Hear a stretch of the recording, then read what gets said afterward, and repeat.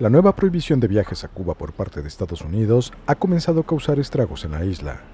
La medida que comenzó su aplicación este miércoles ya ha provocado afectaciones en casi 800.000 reservas de cruceros, informó la Asociación Internacional de Líneas de Cruceros.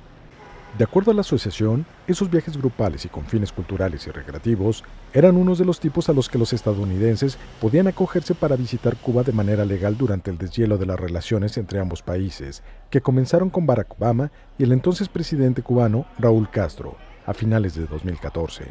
Sin embargo, bajo las nuevas regulaciones impuestas por el presidente estadounidense Donald Trump, viajar a Cuba en crucero desde Estados Unidos es ilegal.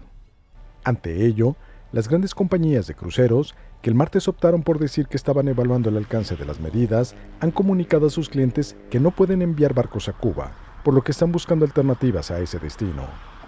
Empresas como Carnival Corporation, la principal compañía de cruceros del mundo, confirmó que los barcos de su corporativo ya no tienen permiso para tocar puertos en Cuba.